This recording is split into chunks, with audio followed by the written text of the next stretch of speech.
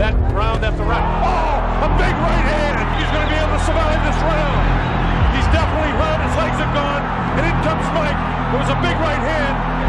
En enero de 1988 en Las Vegas, Mike Tyson defendía por quinta vez su campeonato mundial de peso completo del CMB, por cuarta el de la AMB y por segunda el de la FIB, ante el legendario Larry Holmes, quien tenía dos años inactivo y que sus últimas dos peleas habían sido derrotas ante Michael Spinks.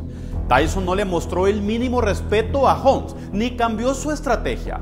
Fue al frente con agresividad y ritmo, soltó golpes de poder arriba y abajo y buscó acorralar al histórico ex campeón contra las cuerdas.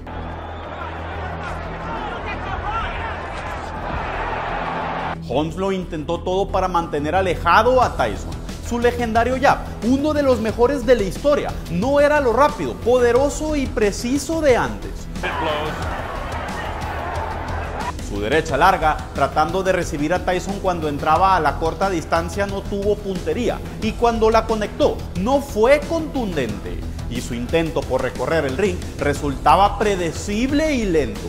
Hasta recurrió al abrazo, pero aún en esas circunstancias, Tyson lo castigaba. Iron Mike mostró todo su repertorio en los primeros tres rounds, pero en ocasiones fue muy acelerado, pensaba poco y tiraba mucho.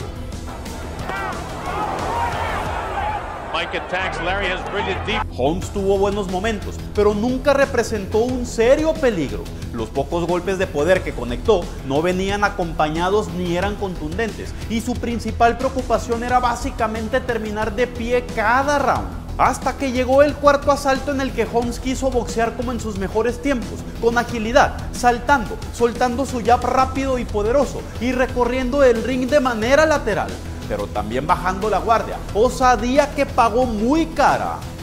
Con un poderoso 1-2, jab y gancho de derecha a la cabeza, Tyson mandó a la lona a Holmes, quien cayó de espalda, y ese fue el principio del fin.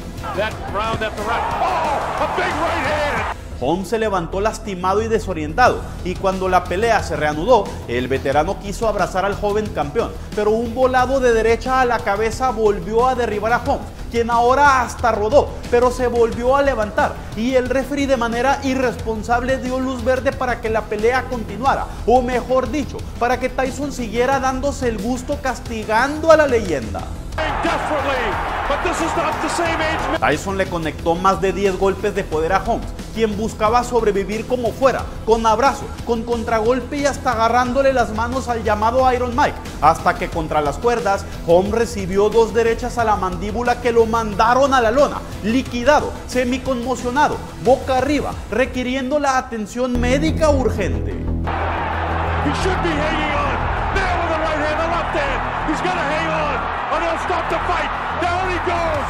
Como era de esperarse, Tyson de 21 años de edad seguía invicto y siendo campeón del mundo en la máxima división, mientras que Larry Holmes de 38 años era noqueado por primera vez en su carrera.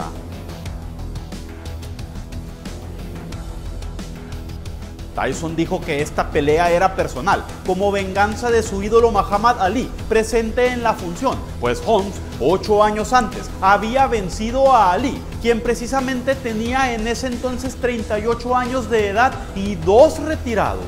¿Crees que esta fue una de las victorias más grandes en la carrera de Mike Tyson? Mi nombre es Diego Soto y nos vemos en el próximo clip.